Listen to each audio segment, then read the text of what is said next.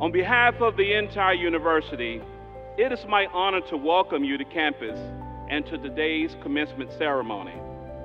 A special welcome to the families, friends, and loved ones of the class of 2023.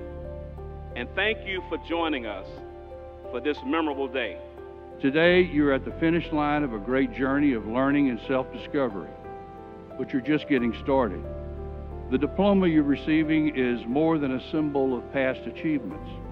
It also represents what's yet to come and what you've yet to achieve.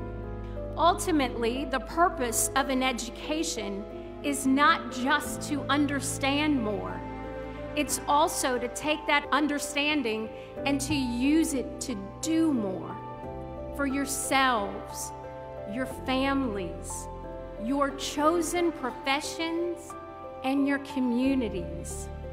Today, you become custodians of that responsibility.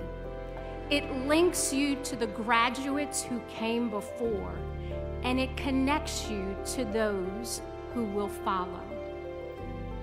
And it will remain with you no matter where you go for all the days that lie ahead. On behalf of the entire university, family, graduates, I want to introduce to you and congratulate the members of the class of 2023. Congratulations again.